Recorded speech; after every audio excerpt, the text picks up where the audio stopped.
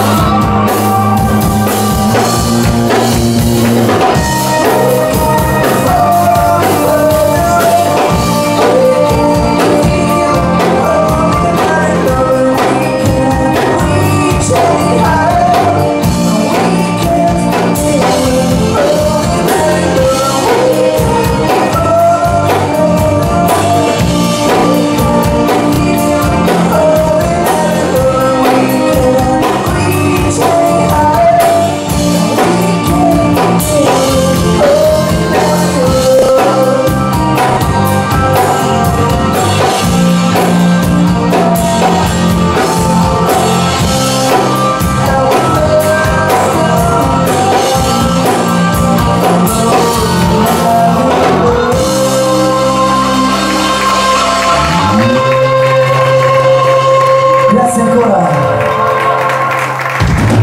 Alla prossima.